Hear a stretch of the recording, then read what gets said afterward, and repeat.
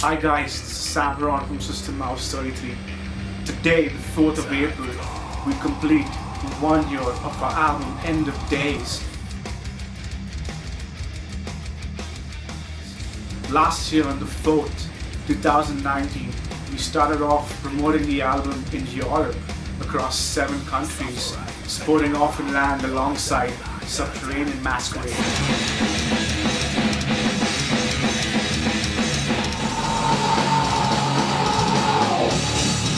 This year, we just got back from a US tour supporting the mighty Soulfly alongside Toxic Holocaust.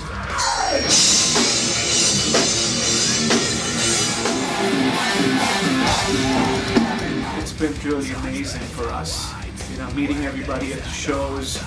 I also uh, want to say, you know, take this opportunity to tell you stay safe, support each other in this hard time. You know, the coronavirus is out there and it's not been good. So, you know, we played a lot of cities that are going through a really hard time, especially New York.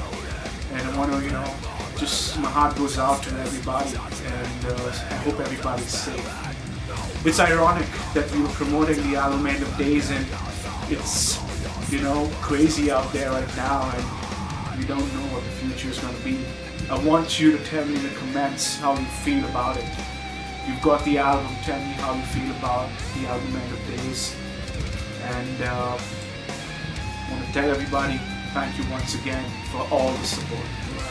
Take care, stay safe.